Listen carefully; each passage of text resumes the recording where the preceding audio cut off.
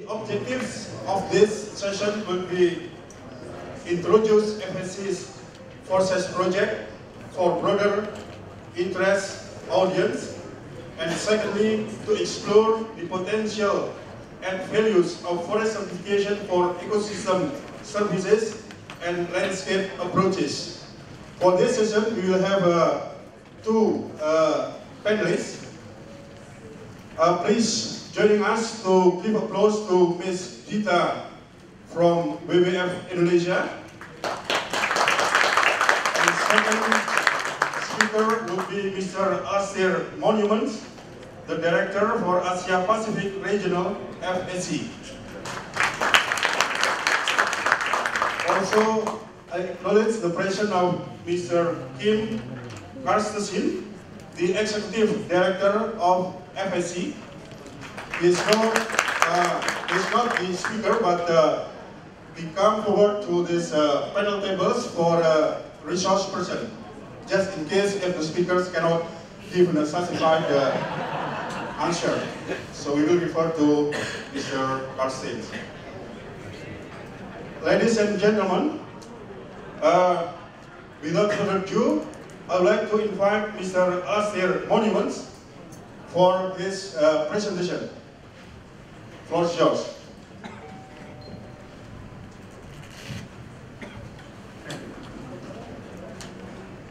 Well, I'd like to welcome everyone to the session, and thanks um, a lot to CIFOR for helping us put this on, and also to the Ministry of Forestry of Indonesia. Um, I'm going to talk about FSC's project, Forces Project, um, and we have a lot of people in the room, so I'm going to start off with a short introduction on FSC, just to explain what it is. Shoot. Um, FSC is a global, independent, non-governmental organisation. It's been around for 20 years um, founded uh, after the, the Rio conference on sustainable development, uh, importantly by a balance of social, environmental, and economic organisations. So we have this balance in our organisation where we have social members, environmental members, economic members, and they work together to try and find solutions to the uh, problems of the world's forests. And what we do is we enable businesses and consumers and investors to make choices about the forest products that they buy in this business market. Boleh That's a system that works Apa all over the world. Close. Is that better?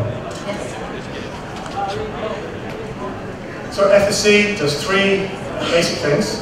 We set standards for good forest management, but also for ecosystem services.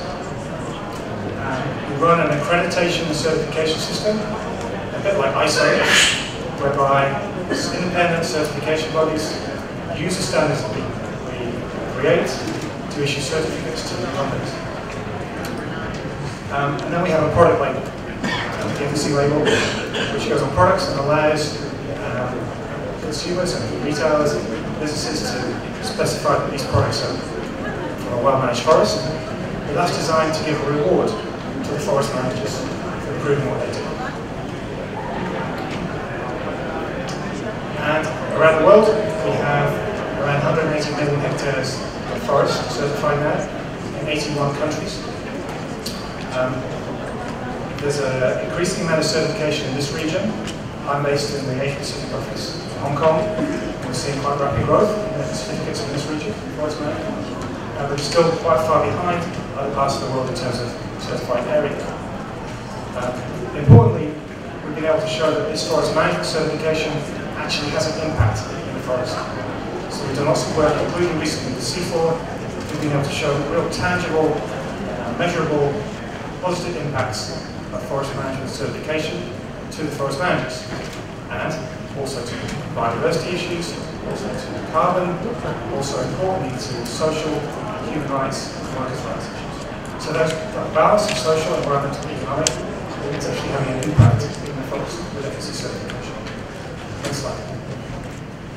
Um, and to get the products from the forest to the market, uh, we have something called chain of custody certification, whereby every company, every organization between the forest and the retailer um, takes possession of a product, FSC certified product, has to have something called a chain of custody certificate.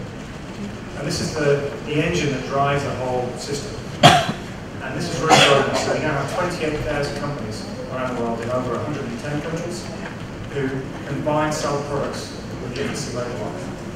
And they can use those products to um, uh, specify that the company is trying to do the right thing about the products they're selling, but also that then creates the, the engine that drives the supply chain, which then creates the reward for the forest managers to get.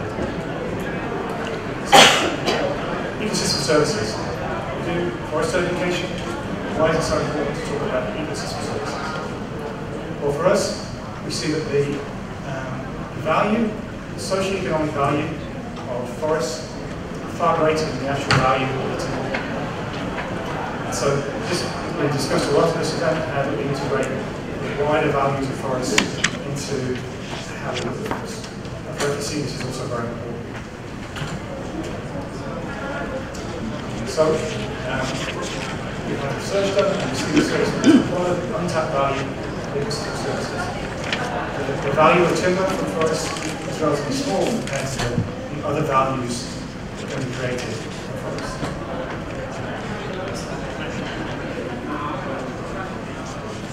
And ecosystem services certification has the potential to provide business value to forest managers through payments for ecosystem services. That ecosystem certification can verify the provision of that service.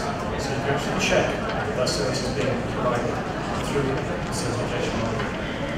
And also, in a similar way that we do with FSC certification, we can add value to that by providing marketing, providing safeguards uh, through the whole supply chain, and reward the forest manager or community, whoever's looking at the forest. Next slide. So, FSC already has a strong basis for ecosystem services certification in our standards that we have at the moment. Um, our principles and criteria already talk about ecosystem services, um, it's part of Principle 6. Um, and so we, we integrate that already into what we do. Next slide. So, for instance, um, if you're looking at biodiversity as your ecosystem service, it's already through the whole way we're doing responsible forestry, the intrinsic benefits we're doing responsible forestry, we can measure with FSC certification to biodiversity. Next slide. And the same with carbon. So FSC certification responsible forest management um, already can provide carbon benefits. And uh, we have studies shown that in FSC certified forests, um, whether it's reduced impact logging or well-managed forestry, there's far more carbon stored in those forests than similar forests next door that aren't well managed.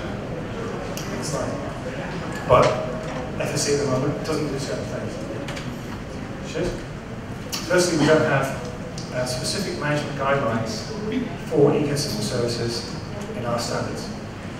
We don't have a methodology for quantifying ecosystem services or to evaluating their impact through our current standards. And at the moment, other than our regular certification label, we don't have a mechanism to reward ecosystem services explicitly. Our reward is for good forest management. We don't talk about explicit rewards for ecosystem services. So, we have this project called Forces, um, which is a pilot test to enhance the standards that we have so that they can be used for ecosystem services. Uh, we're working with uh, finance from UNEP and Global Environmental Facility, um, and then with uh, partners such as uh, CIFOR, SNV, WWF, and other organizations. Uh, we have a global project which runs from our international office based in Germany, um, which does the standard development and market analysis work, with a lot of support from CIFOR on that. Um, and then we have four countries where we're running this project. So we have Chile, uh, where we have um, uh, pilot sites being undertaken in collaboration with FSC Chile. We also have other organizations there. We have a project in Nepal with ANSAB, the FIFA Fund, is working on pilot sites there. A big project in Vietnam, working with the Ministry of Forestry in Vietnam, also with led by SNV. And then we have projects in Indonesia, which Dita has introduced. So, through this process, we've come up with two simple uh, certification models, whereby you can try and use ecosystem services as part of FSC certification. The first one is having a single certification, whereby the standards, FSC standards are adapted to include the provision of ecosystem. So um, biodiversity, tourism, or political attention is included in the verifiers of the FSC standard that is used on the land. The other model is whereby there's a dual certification, whereby FSC would um, uh, verify external schemes that could provide that service, provide that verification. So for instance, with forest carbon, we're talking to the gold standard, who are here actually the um, who uh, have a standard for verifying carbon. And we've been working with them on a collaboration about how their standards compare to ours and how we can work together on dual certification. So there's two models. One is to incorporate into FSC, one is to associate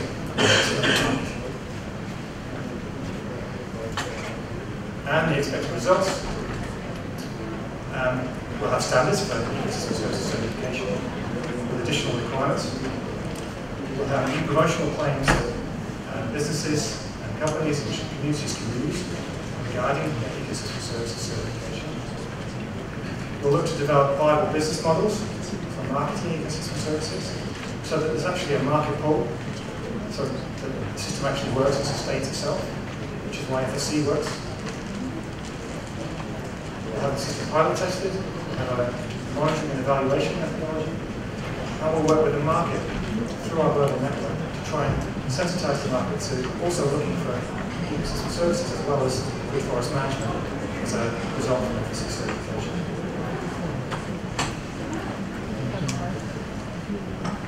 And just some highlights what Peter's going to talk about what's happening in Indonesia. Um, but a key thing that we've done there is we've worked on our national standards in Indonesia. So we've harmonized our certification body standards, so now one standard. And we're now working with LEI to develop a national forest standard for Indonesia with a local stakeholder group. So adapting our international standards to the Indonesian context. We've done a lot of work with CIFOR on analysis, and we have pilot sites, and some of these pilot sites are now FSC certified. In Vietnam, we also have this standard development process going on, being chaired by the Ministry of Forests. And also sites there. Next slide. And in Nepal, similarly, we have a working group and working with lots of communities to look at ecosystem services. And things like, uh, not just in biodiversity, but also things like ecotourism.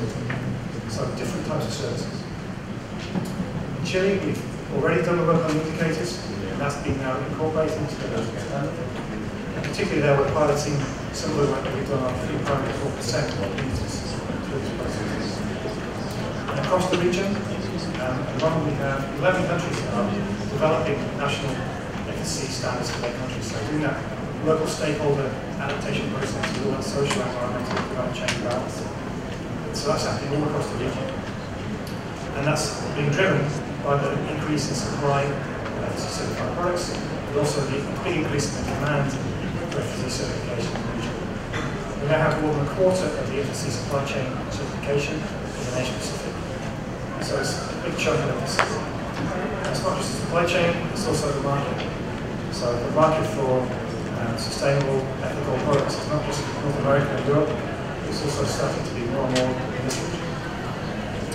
And finally, we're doing lots of work on capacity building, training trainers, working with smallholders, directing funds to smallholder projects to can try and help with this thing. So that's a brief introduction, and I'll now let Peter talk more about what's really happening on the ground in Indonesia. Thank you, Lester, for your uh, interesting presentation on the FSC development and environmental services certification. And now I would like to invite Ms. Dita from the WWF Indonesia to present the update on the uh, Forces project in Indonesia. Thank you.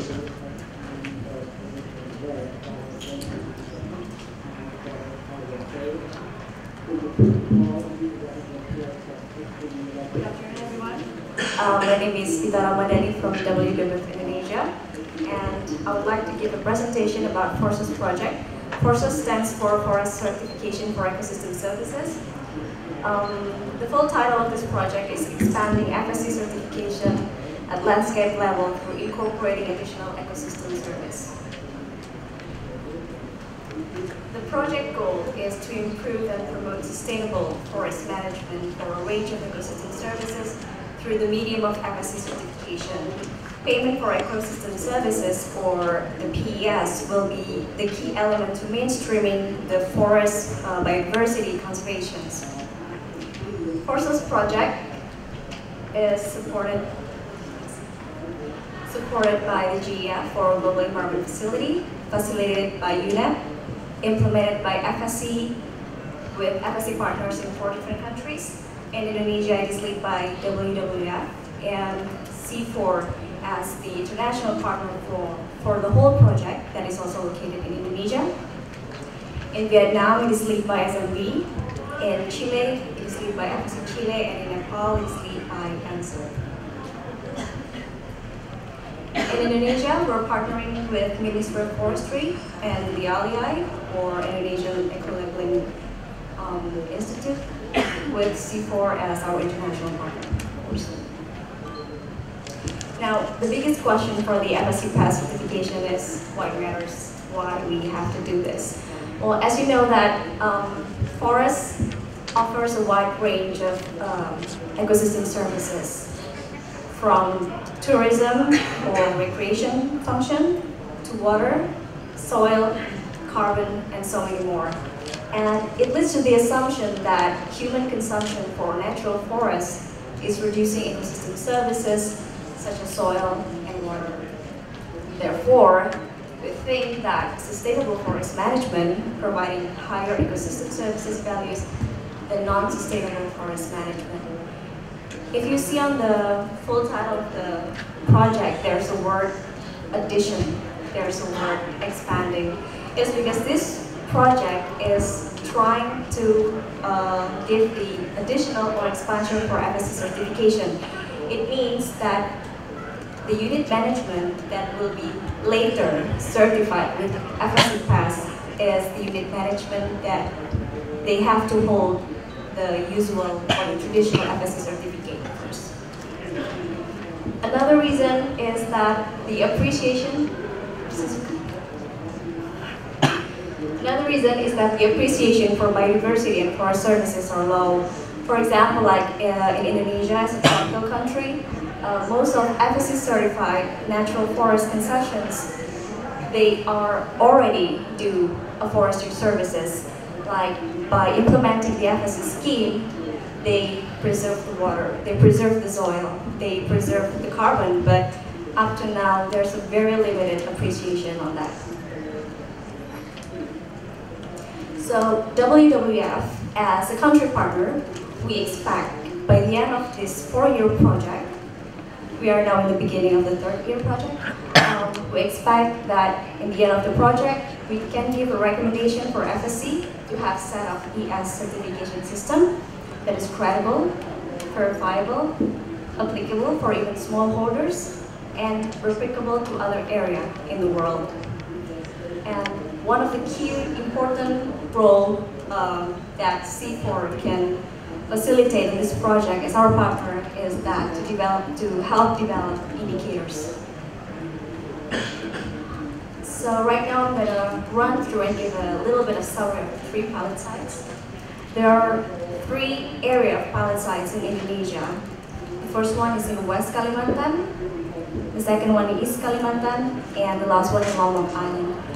If you can read there, I give you uh, several um, actions that need to take um, by the country partners in this FORCES project. Among those, um, one of the most important thing is to conduct market analysis to see willingness to pay from potential PES buyers or users. Because in the future, we really want the certification to be paid, real paid. That's why we need to find a real connection between the FSC PES certification um, with the potential buyers um, with a suitable um, PES business model. This is our first pilot site. It is located in Sesaot and Sedau villages in West Lombok that covering 3,000 hectares. It is a, a local community and what we see in this pilot site is the water services, So the water services in West Lombok is already running since 2009 based on the local government regulation. If you can see there, it's, um, it's a payment scheme since 2009. So the upstream community, they conserve the area in the foot of Rinjani Mountain by doing reforestation in order to preserve water quality and quantity.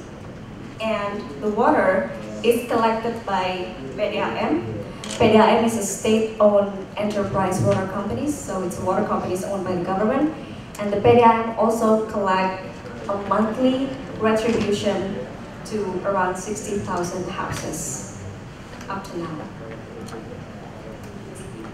This is the example of the monthly water bill that the PDAM collected every month.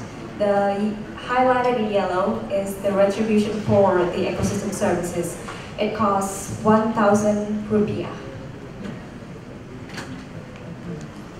What we seek in this pilot site, because the water services and the mechanism of payment for ES is already running, um, what we need to do is we have to make a science-based verification to prove the impact of reforestation activities conducted by local community on the quality and flow of the water, improving monitoring and evaluation methodology through PES protocol to help expanding existing paid water services to water area in Lombok, because right now it's only running in uh, western part of Lombok, where the forces hopefully can shorten up the process. And we are partnering with relevant stakeholders, of course, and we, pre we prepare local community for FSC certification assessment. Next slide. Our second pilot site, it is located in Kapuas Hulu Corridor in Kapuas Hulu District, West Kalimantan. So if you can see on the map, the green one is the Kapuas Hulu Corridor. It, it is called corridor because it is an imaginary uh, corridor that uh, built to bridge the key species between two national parks, the Sentarum National Parks and Betung Kerihun National Parks. Next slide. In this area, what we are trying to see is the biodiversity-based ecotourism. It is one of the places where the um, subspecies for orangutan in West Kalimantan uh, live. What we see in the ecotourism value is that we're trying to improve existing ecotourism that has been running since 2010. One of the things is by collecting data on biodiversity, such as orangutan, key or endemic fish species, hydrology, and tourism package. We do a partnership with relevant stakeholders, the Forestry Service, National Park Authority Office, tour operator, and local government, and we prepare local community for FSC certification assessment.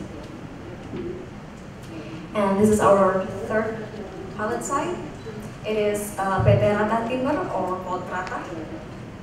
It is located in West Kutai, East Kalimantan, covers 95,000 hectares. Ratah is an active natural forest concession and already got FSC certification on April 2012. What we see in Ratah is the biodiversity and carbon value as the ecosystem services. Um, we help Ratah Timber to maintain their FSC certification and implementation of reduced impact logging.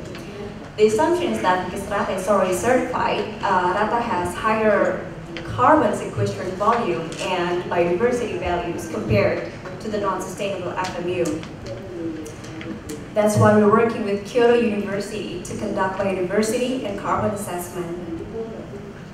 And this is the 60 plot of the biodiversity and carbon that is the result is uh, collaboration between WWF and uh, Veteran and Kyoto University.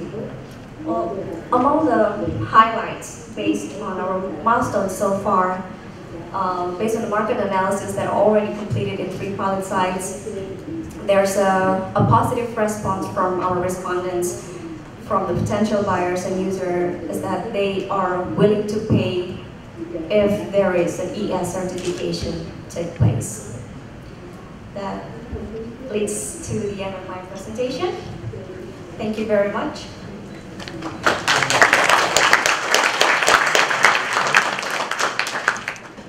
Thank you, Dita, for your updates on the uh, Forces project development in Indonesia.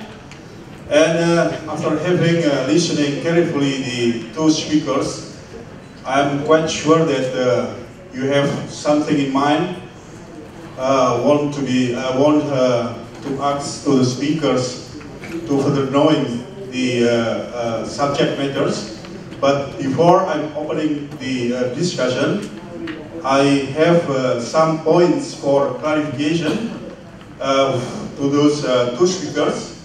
Firstly, I would like to give a, a short question to Mr. Alasirs on how FSC is uh, adapting to the landscape-based approach to forest management and uh, how managers and local people can uh, gain an economic benefits from the ecosystem services.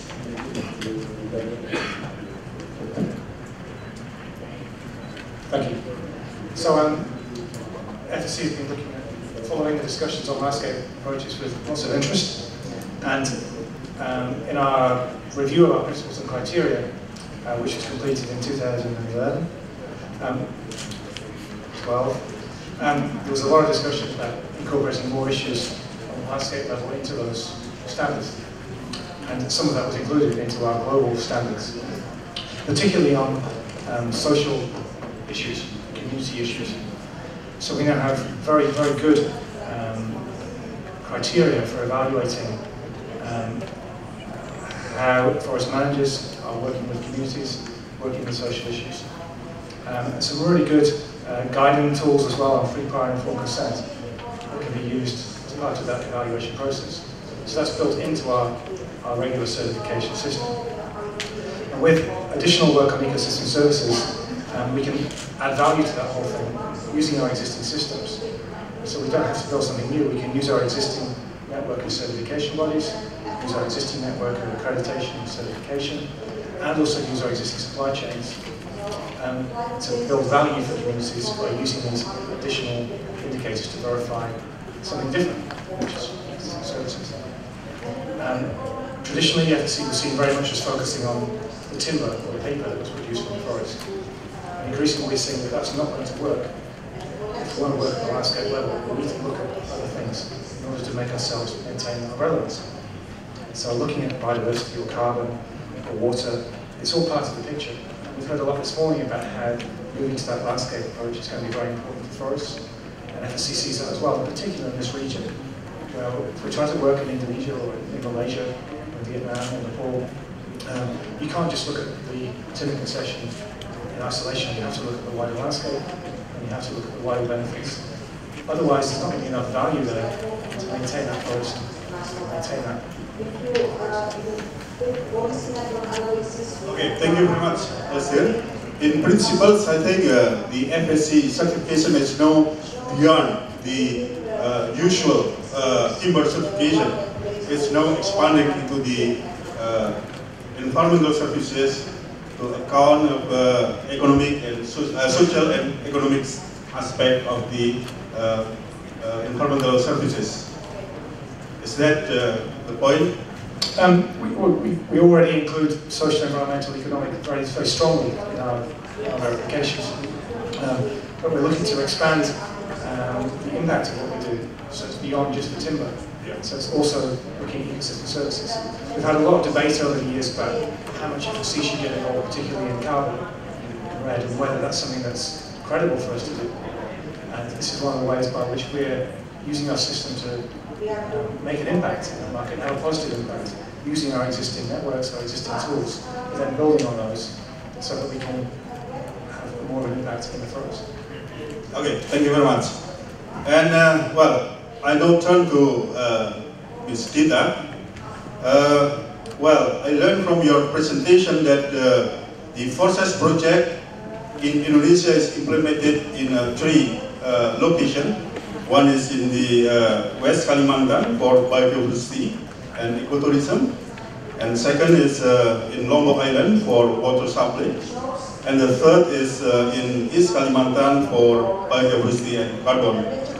So among the three pilot sites, which one is more potential to be FSC Environmental Services certified? Well, um, what we are trying to do in this uh, Forces project is we're trying to developing a standard. And there is no easy way in, in doing so. But um, in the Forces project, time-wise, uh, our third pilot site, which is the Ratah Timber, that already FSC certified, is the one that is uh, has a big potential to be the first uh, FSC test certified in the future. Um, but on our other two pilot sites in Lombok and West Kalimantan, the services are already there. What we need to do is to help the local community to be FSC certified, which is, we are going that way in this project. Okay, thank you, Dita. So I think we got some uh, additional uh, information from my uh, previous situation to these uh, two speakers. And I think it is time for me now to open the floors. And I would like to have uh, three uh, questions from the floor. And uh, I just want to remember in, uh, all of us that uh, we have a time until 2, uh, 2 o'clock eh? or uh, 5 past to 2. Yeah? Is that correct? So at least we will have a 2.45. 2.45. Oh, still a lot of time then. I thought that we are in class, so I want to limit discussion, but uh, since we have an ample of uh, times, we will end at uh, 2.45. So it's quite enough for us to have an, uh, a quite long discussion now. And uh, well, for the first uh, round, I will invite three uh, questions on the left side. Yes, and then yes, and two. Yeah? So please identify yourself by mentioning your name and institution. Uh, my name is Jim Tarrant from Engility IRG.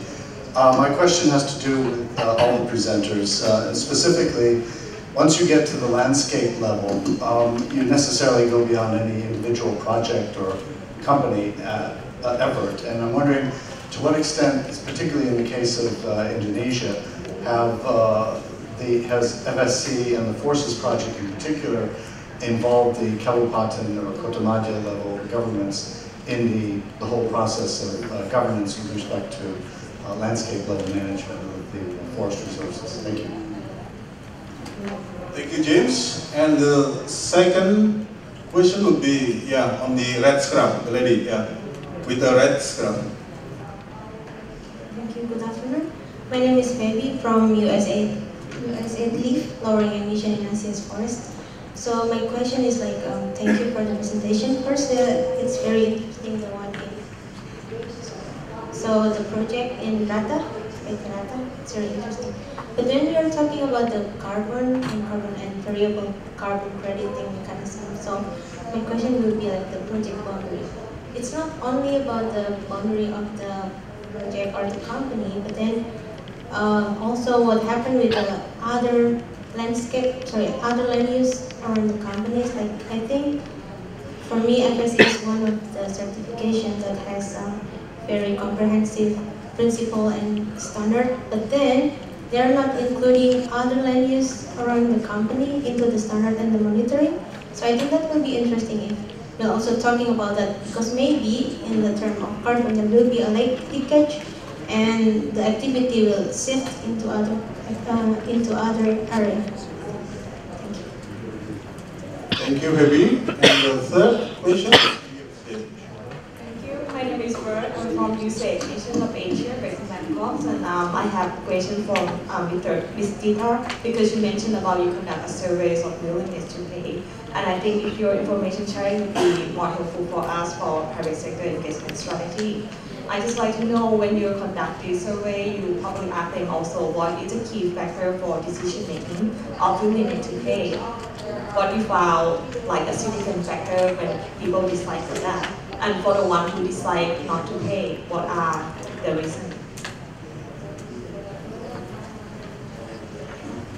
Thank you, Forrest. So we have uh, three uh, person who address uh, three questions to uh, here and to Dita. So I think uh, so, uh, Dita first yeah, will answer the question. Yeah, I think all the questions for me. so uh, I will go uh, for to the first question. Thank you very much. Uh, your question is how the Forces Project or the FSC involved the Kabupaten or district government in this project.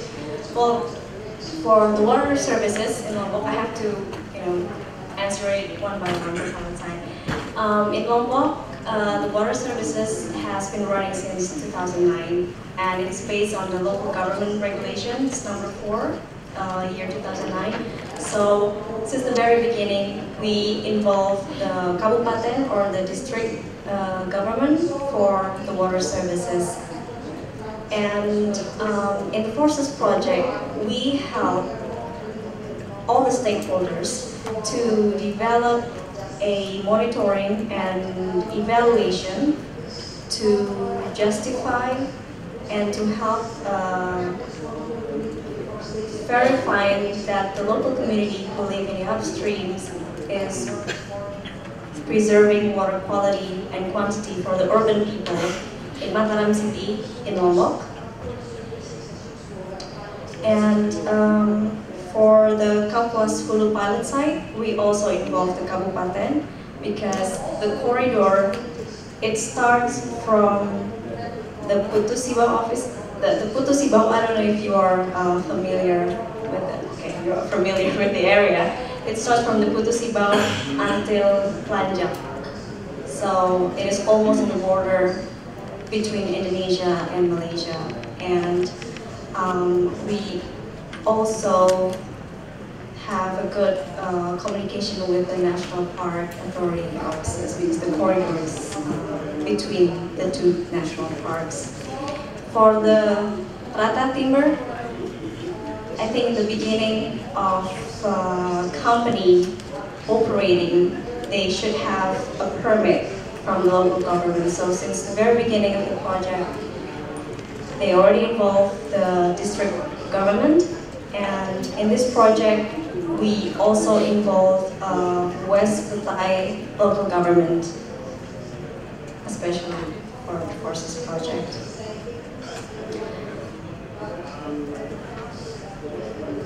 Okay. And for the second questions, your question is how about other land use or landscape around the Tatimur? Well, it's a, it's a rather complicated because around Ratah Timur there's a mining company, there's a non-sustainable logging company, and, and protection area, and each of those uh, land use has its own authority. So in this Forces project, we only focus on the Ratah Timber. And next, what we are going to do is we're going to compare between Ratah Timber as a sustainable forest management to another logging concession that is not implemented FSC uh, forest management and reduced impact logging to see uh, how much carbon sequestration uh, differences in the two concessions.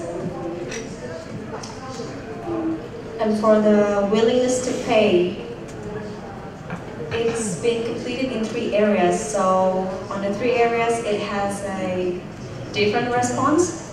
For the ecotourism, because uh, the ecotourism in in the Danau Sentarum in West Kalimantan is a very specific. It's specific for hobbyists, uh, for people to go fishing and enjoying scenery, and people that want to see orangutan. That's why they don't really mind to pay. I mean, all of our respondents say that. The water, right now, the water services only paid by households. So in the market analysis, we try to reach out corporates, uh, hotel chains to get their response if once these ES certifications take place, what are the response about it? And they said they are willing to pay for the ES certification product, although we haven't touched the price.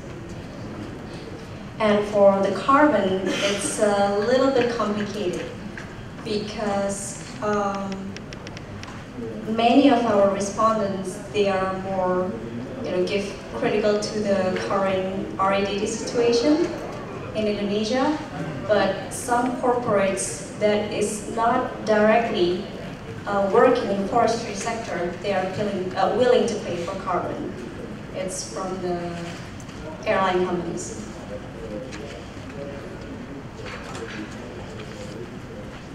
Thank you, Dita. And uh, Mr. Kim would like to add? Yeah, I, I just thought it was worth maybe mentioning that when we think about ecosystem services as part of what FSC can contribute to, the starting point is to see what do we have already? What is already in our standards, in our policies, and in our practices that is relevant for ecosystem services? And there is quite a lot. We already have good systems for stakeholder engagement. We already have professionally working certification bodies. We already have high conservation values protected in the certified areas. We already have a lot of uh, considerations for social issues. We're working on free, prior, informed consent, etc. So there's already a lot that we have. And I think what the challenge is there is to be able to measure it better, to be able to measure and demonstrate the actual impact of certification on the ground on these issues. So that I think is in itself a first set of issues that we are dealing with. What do we have already and how do we measure that better? Then I think there's a whole range of secondary issues which are enormously important.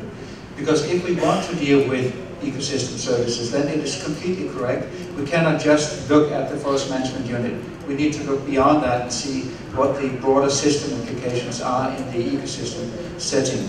Uh, so therefore we need to look at how do we then make sure that what we have already gets relevant in the broader issue and the broader setting of the landscape. And then the second set of issues is about how do we make it economically viable to do this, to do these things. How do we make it something that has a, a, a market value. And that I think is what the Forces Project is struggling with. And those are sort of the three dimensions that we are primarily looking at.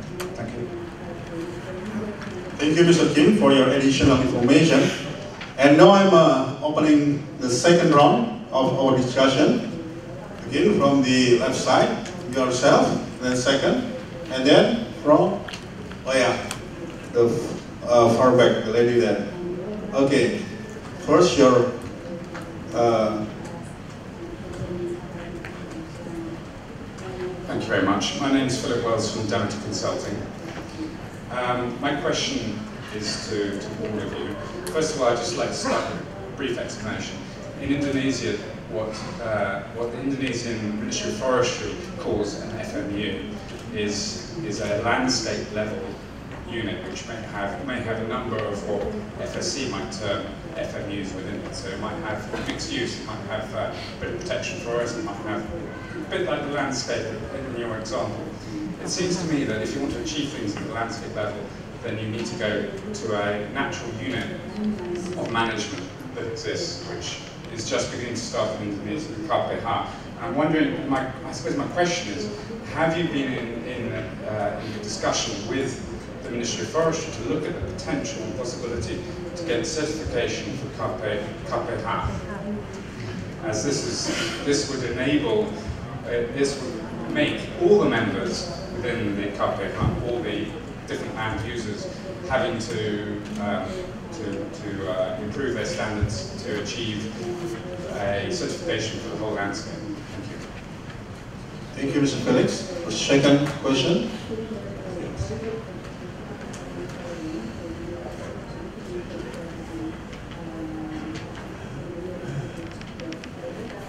Hello, uh, my name is Hiromi Samejima uh, from uh, Kyoto University. Uh, I was very surprised. Uh, my two years uh, study in uh, our data can, contribute this FSC, FOE, FRCS. And uh, my question is how to get uh, profit for this FORCS. Uh, because, uh, for example, in case of Ratah Timber, uh, the most of, most of the product is private. And most of the private is exporting to Japan, but uh, uh, order, order as certified clients only 10% of the production.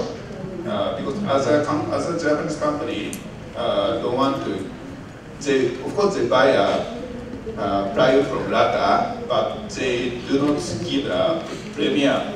They just buy as a, normal private. Uh, the reason is why, uh, the reason is uh, FSC is still not, not so popular in Japan. And uh, of course, there's a strong pressure for Japanese government to reduce uh, tropical timber. So the Japanese government, uh, uh, to, the, the policy of Japanese government to reduce to import the tropical timber uh, do not care about the FSC certified uh, non-certified.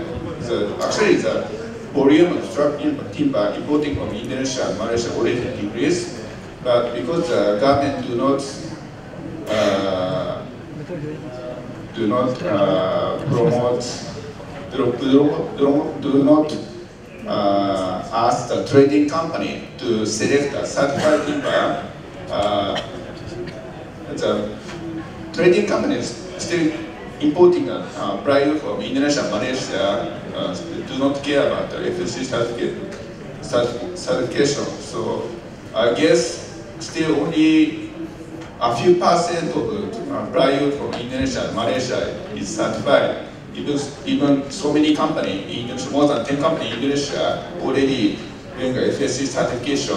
They cannot sell to Japan as a certified plywood. They just sell, uh, most of the plywood they sell to Japan is still non-certified. So how is there any uh, strategies how to promote the uh, certified plywood uh, to uh, Jap Japanese market? Uh, yes, thank you. Thank you, Mr. Najima. Samejima. Thank you. And the third question from the back, yes? This lady in the back. here Hi, I'm Megan Couture from Columbia University in the States, but also with Steve for the Drop here in Indonesia. And this idea of um, kind of mismatched spatial skills has come up a number of times, um, both because the FSC project is nested within a larger landscape, but also because these ecosystem processes that support ecosystem services are functioning kind of at different spatial scales from one another.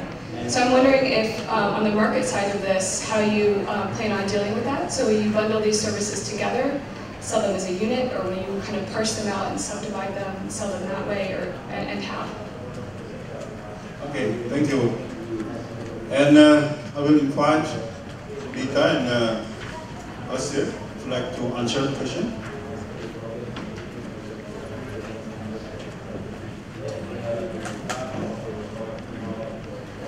Well, uh, from the first question, uh, uh,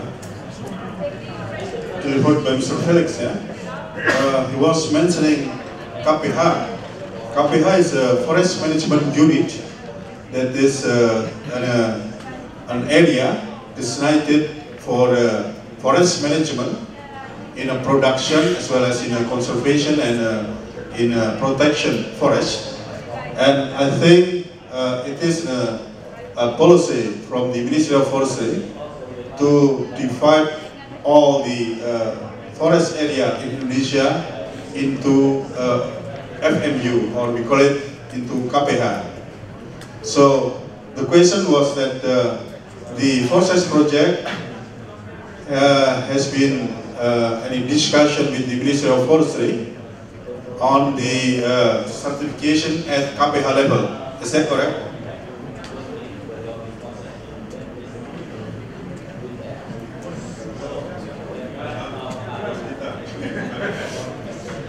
Okay, for in this project, uh, the one that is particularly working with the KPH is in West Kalimantan. So district government of Kapuas Hulu, they are in the, the process of developing KPH. But unfortunately, the process is really slow. While in this project, we have a timeline that we need to catch. Um, so in relation to this KPH the Forestry Service in that district, we help the community to create a spatial delineation of their working area, uh, residential area, and the forest area, and that we propose that to the KPH so that the KPH can recognize them inside the whole KPH spatial delineations. Well, uh, just for additional information that uh, even though that the project was not, uh, let's say, uh, a frame into a, a certain KPH, but uh, by location, the project site, I mean, it is already located in uh, KPH areas. Uh, for example, in uh, Lombok, it is belong to KPH Rinjani, and also the uh, uh, Kapuas Hulu uh, project sites uh, as Dita mentioned, that the district government is now uh, developing or establishing the KPH Kapuas Hulu, but it's not uh, established yet. But later, the project will, of course, uh, adopt it as an uh, KPH uh, activities. So that's uh, what can I add to the uh, Dita's answer. That's the second question. Yes. So on the, the question about the market in Japan, it's a really good question. So um, FSC is a market-based tool, and the way it works is that we, we create with partners a market for certification. So it's why you have that, that curve of the growth in the supply chain, is that as the market wants more and more certification, wants more and more certified products, then you can get that exponential growth because the demand then pulls the supply. So, um, but we're not a marketing agency, we're an NGO, so we work with partners um, to try and create additional market, additional market pool. We have ourselves, we have a team uh, called the Key Account Management Team, who work with companies mainly. Um, and in this region, we work all over the region, including in Japan, with um, leading companies that are specifying forest products. And traditionally, or historically, that's been the major way by which the market has grown, is by working with specifiers, with retailers, or with big brands. So we work, for instance, in Japan, we're working with Oji, Oji Paper, we're working with Mitsubishi, we're working with Aeon, Aeon Group. So, um, we work directly with them through our FSC office in Japan, uh, but also with partners such as WWF, um, and say in Indonesia with TDI. Um, and we try and create these partnerships and try to create these relationships to, to improve the demand from these businesses. Um, through that, we can then also do awareness raising of consumers. Um, we can try and raise the uh, awareness amongst consumers, and we need to, to do that, we need to have products on shelves, we need to have products available. So what we've done in Japan over the last couple of years is we've invested money from FSC International into FSC Japan to run a, an awareness campaign and to understand the market better. It's very different in Japan to say Hong Kong, or very different to Germany. We found that the market there needs different drivers in order to change it. So we're investing now in our own resources in there, but also working with partners in the most appropriate ways to try and get the market more sensitized. And what we've seen is that in certain parts of Asia, we have a, very fast growth in consumer awareness. So now in Hong Kong, we're at 36% consumer awareness on the FSC label. So it's increasingly known. It's gone up from 11% a couple of years ago. And that's by working with partners and working with brands, companies. So in Europe, you know, 70, 60% consumer awareness. Japan, we're under 10. So we need to work to get that up. But we do that by working with these partnerships, working with that.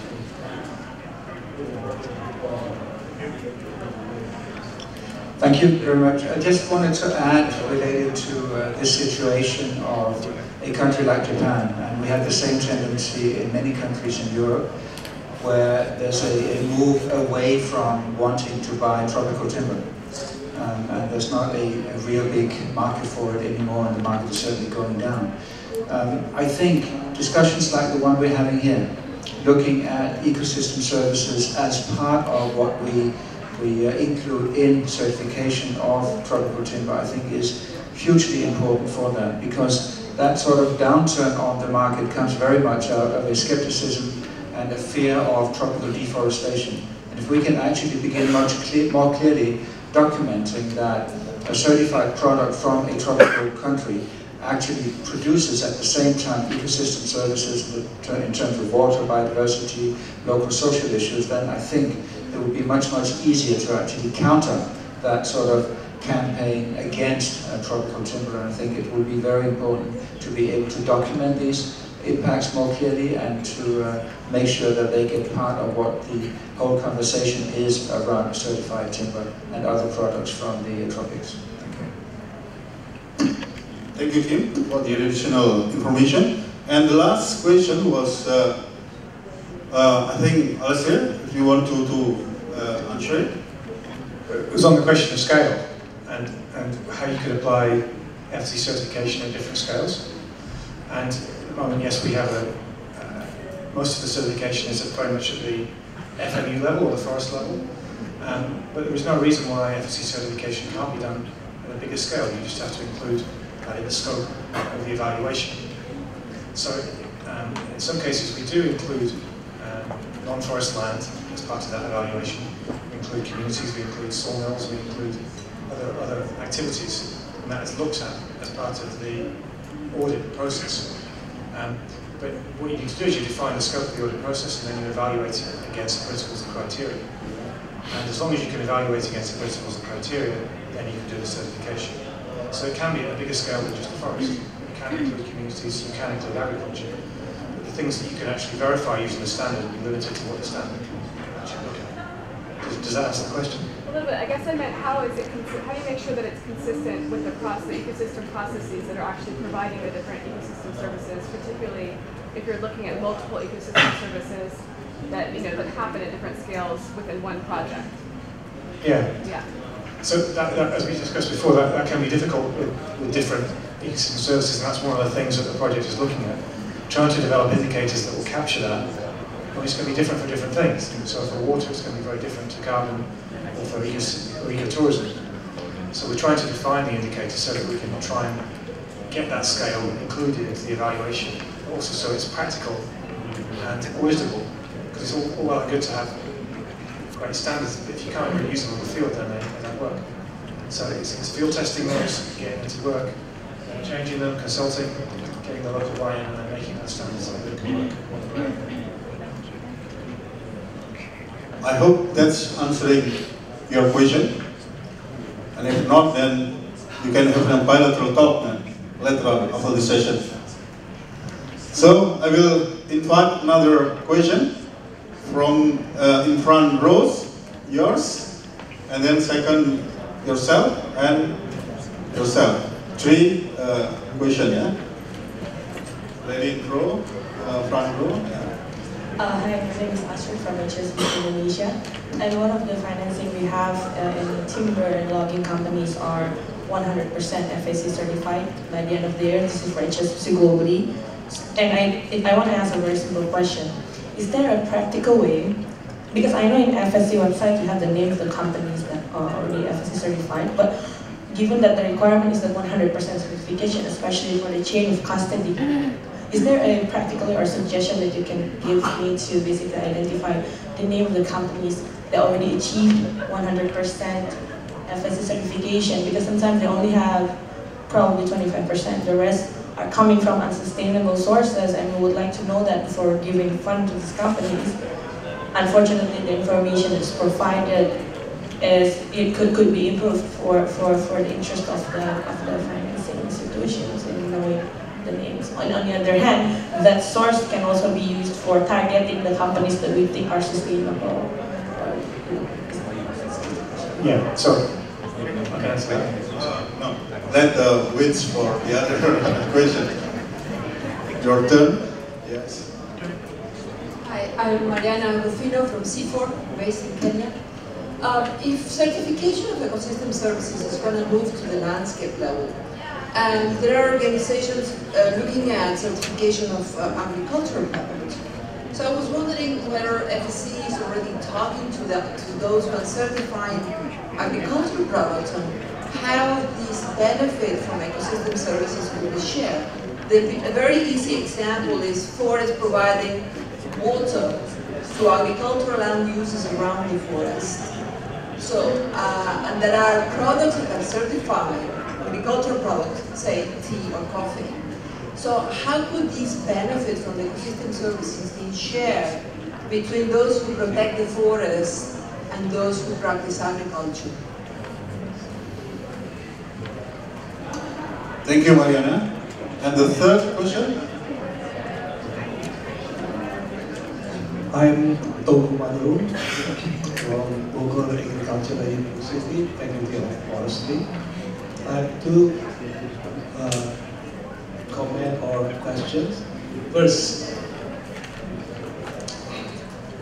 if we are doing sustainable forest management, say a certain uh, forest management unit, and this forest management unit, uh, say they got this FSC certificate.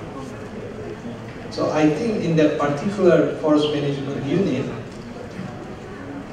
they have already also uh, passed uh, these so-called ForCES.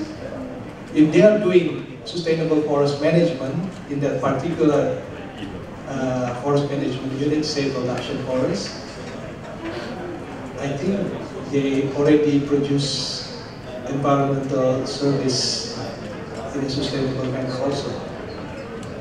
I understand there are some cases that uh, being done in not in a say uh, production forest area. So please uh, clarify my understanding about this.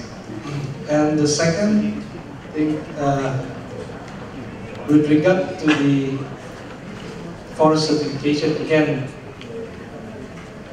one uh, forest management unit got uh, FSC certificate.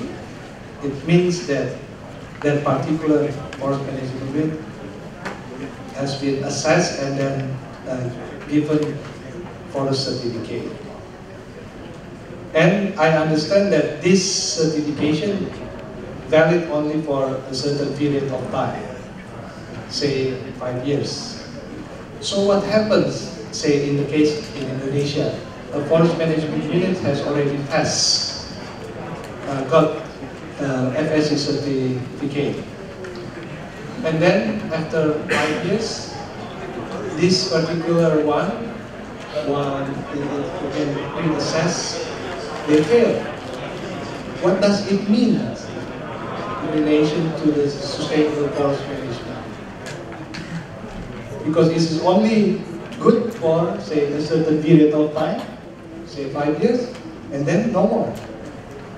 I don't think that's sustainable forest management. And how could you guarantee for each and every uh, forest management unit that has passed and got FSC certificate, eventually they will really doing sustainable forest, uh, sustainable forest management. Thank you. Thank you, Pak Togu, for your questions. I think I would like to invite uh, Alistair first to give the answers. Okay, so uh, HSBC, thank you for the question. Um, so HSBC have a very strong policy on investing in companies that are sustainable, and they specify the C as the, the, the goal for that. Um, in terms of forest management, Um, it's very easy to see with FSC certification whether something is certified because you can look on the web and you can see the whole report. It's all very transparent. You can see all the non-conformities and everything else. Um, what HSBC is now saying as well is if they're investing in companies in the supply chain that are buying and selling certified products, so chain custody companies, then they also need to be FSC certified, um, which is good. However, if you're FSC certified in the supply chain, it doesn't necessarily mean that everything you sell is FSC certified. You can buy and sell non-FSC products. You have to be acting legally, you have to be complying with certain norms, but you, you can actually sell products that could be unsustainable. Um, and at the moment, FSC doesn't have a mechanism by where HSBC or anybody else can see what percentage of the companies in the supply chain um, are selling as FSC certified or not. Um, and we've looked at that over the years, and yeah, the way the system works at the moment is it's a market-based system, and it's very difficult for us to impose that onto a company. And essentially what we say to them is if you know, the more market demand is, then the more they'll sell the more benefit is. But if there's no market demand, then they won't sell nothing. So at the moment you can't see that. Um, but you can see all the company names, they're all listed on the website, and you can see um, what's in their scope of certification, so what they, they're allowed to buy and sell.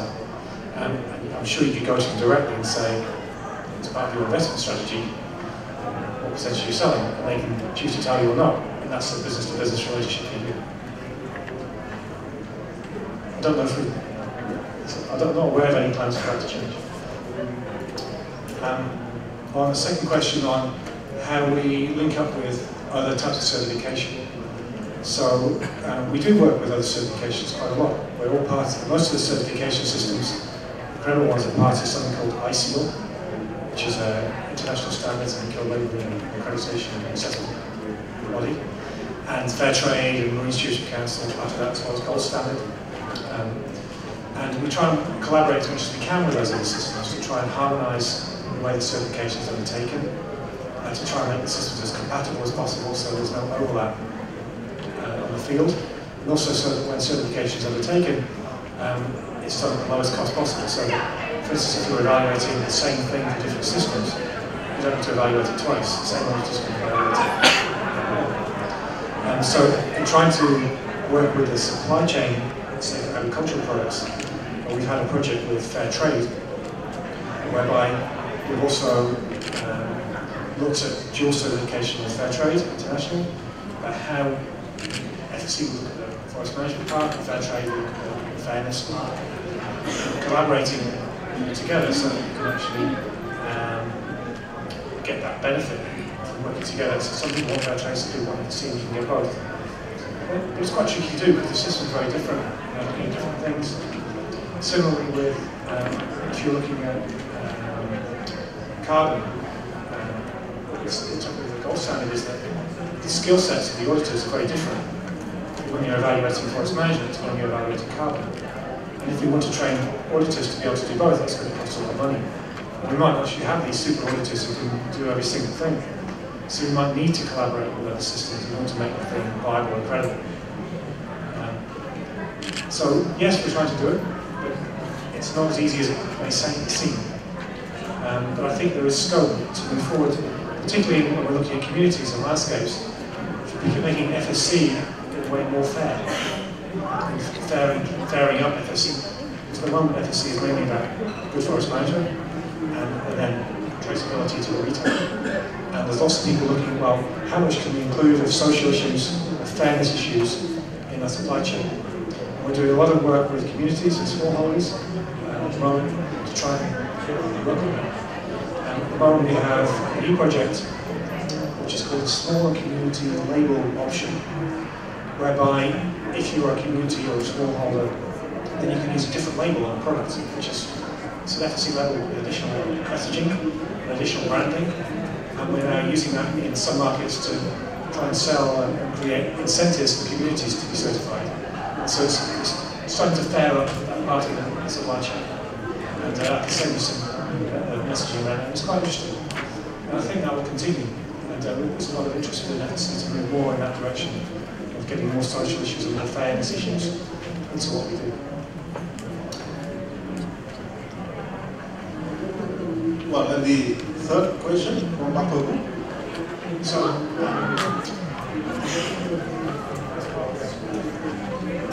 so yes, a lot of the ecosystem services parts are already looked at in the evaluation. However, um, at the moment we don't have specific indicators verify that those ecosystem services and indicators themselves are being evaluated properly. So um, let's try think of an example. Um, say for instance for uh, water, yes, if you're uh, certified, you should be looking after the water, but we haven't quantified what that benefit is.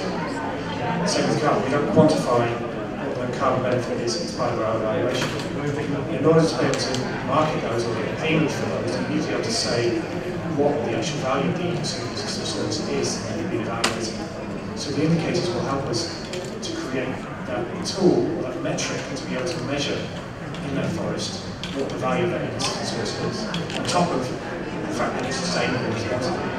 Then you can also say, sustainable responsible plus has this dollar value for water, this dollar value for carbon, this dollar value for tourism. Then you can try and get payments for that. Providing additional resource on top. And also what it does is it tries to create uh, the market incentives for them to be able to sell those products. So like FSC does, we create market incentives to sell sustainable forest products. That works, that drives the system. What we want to be able to do is to try and create market incentives to sell those ecosystem services products on top. Does that answer the question? Taking point from uh, Pak Togu question is that does it uh, automatically for uh, any M, uh, FMU who already got the FSC uh, certificate would be certified as uh, environmental services as well? And there's, the claims that you make are what's evaluated. So if you, claim you are responsible and are managed, but you wouldn't be able to make claims that we have quantifiably measured this amount of water or this amount of carbon or this amount of biodiversity. For that you need to do additional checks. And that's what these indicators do. So they allow the users to check those additional factors to provide something quantifiable. Is that answering your question? Thank you. And on, the five-year part, so um, yes, certification is only for five years. Um, actually, you do the audit initially, and it takes a while to get certified first. So there's usually a pre-assessment and a main assessment. You have non-compliances, and then you comply with those non-compliances before you get certified. And once you're certified, you don't automatically have five years. You're checked every year, or in some cases every six months, for continued compliance with the standards. So the independent auditors will come back and check the continued compliance all the way through. And at the end of the five years, they'll come back and do a full evaluation against the whole standard. Um, there's no point where you say, okay, we're certified now, we get to five years, and we can drop off. You're continually.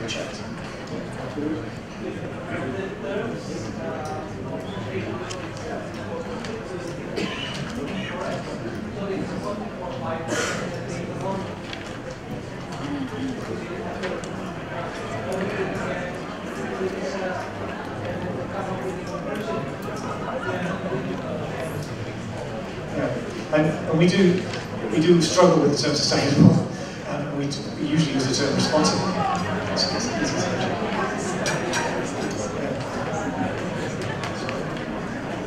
I, I think it is really interesting, but look at the nature of what we are doing. What we are doing is that we are making a check on what the manager or the owner of a piece of land does on that land. That check can only be for a period. It cannot be forever because we do not know that that owner will do the same in five years or in 10 years or in 20 years. We cannot know that that owner will be the same owner in five years or in 10 years or in 20 years. So it's very difficult for us on that basis to actually make sure that the level of sustainability will indeed continue.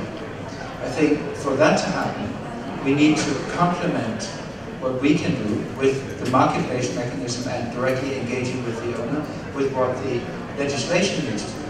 I think the legislation needs to make sure that there are a basic requirements for forest management that ensure sustainability.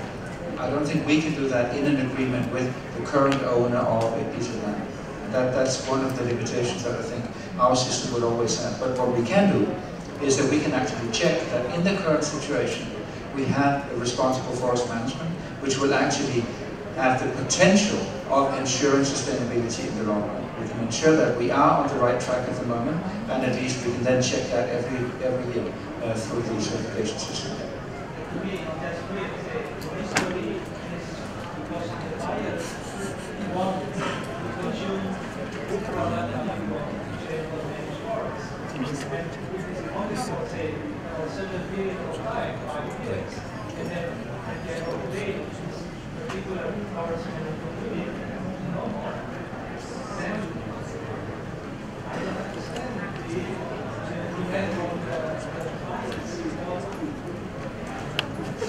Increasingly, um, FSC started as a, in a way as a, failure of governments to be able to regulate, um, a forest convention. So it was created as civil society and business working together. And we created this tool that can be used on a temporal basis to evaluate what's happening in the forest at that particular time. But as we're developing, we've been around for 20 years, and that tool has been used, and it's been used quite successfully to measure things over that time. I think governments are now looking at our tool and thinking, well, that's useful. And we're looking at governments saying, well, we can't solve all the problems on our own, clearly. We're only a tool. So we're working more closely together with governments on projects like this, and also on other things such as uh, illegal timber legislation, FLEGT, European Union timber regulations. And all these things We're hope to work together and become part of a, of a thing that's trying to do things on a wider scale. So governments, civil society and voluntary schemes like ours need to work together to be able to have that impact on a range of issues going forward in the future.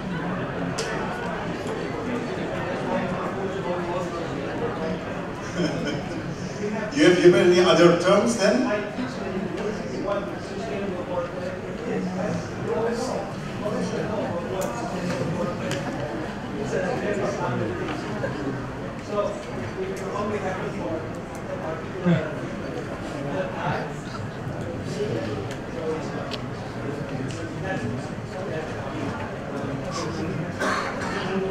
Think uh, your uh, concern would be uh, taken as a, a note for uh, FSC as well as for other uh, stakeholders. In terms of sustainable, according to FSC, certification is still on uh, question. We will take note of it. So uh, I think we still have uh, five minutes. Uh, yes, please. One question only, yeah? Because time is very limited. We only have uh, five minutes before we come to the end. Um, hi, thank you. I'm Wesley from the Singapore Economic Development Board. Uh, I'd just like to ask the panel, like uh, currently certification at the landscape level seems quite new and that it seems like currently it's at NGOs like WWF and FSC who is driving the settings of the framework, uh, the methodology and the indicators. Uh, how do you all see uh, the role of companies uh, in landscape level certification and management? And, and do you all see them uh, coming on board with you? Thank you. Thank you. Uh, perhaps I'll say first and then Dita will give an additional information in the recent case. Yeah, I think we, you know, as I, as I mentioned before, it's companies who've been the main driver with FSC certification in the past. So we do see interest from companies at looking at the landscape level. And we look at the commitments being made by people like HSBC, or by Unilever, or by Nestle, uh, or by APP. You know, they're looking at a broader level uh, in the landscape in terms of how they want to go forward. So yes, I think we will be supporting that. But it will depend company to company on what their particular objectives are and what type of impact that they're having. Dita, you have an additional information? Yeah, um, well, I would like to go back to the statement that I made in my presentation, saying that uh, if we relate this to the ForCES project, then uh, ForCES as the additional or for the expansion for the FSC certification. And one of the reasons why we are doing it because right now there's a very limited appreciation for uh, forest management unit or companies, uh, in particular the, the active logging company, where they already preserve the forestry services or the ecosystem services, but there is no uh, proper appreciation of that. Just, just add, um, if you look at try to do forest management in Indonesia and Malaysia, and try to make money um, from timber.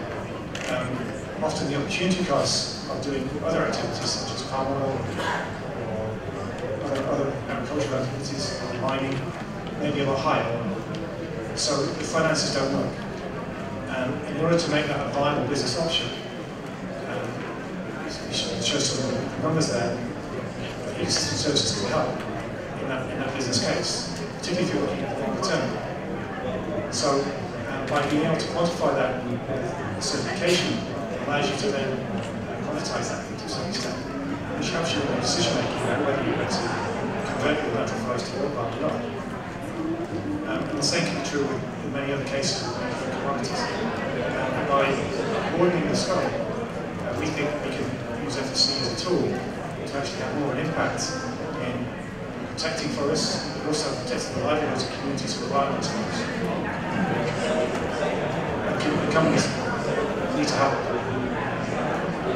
Well, Kim, perhaps we have a final say before we close the session?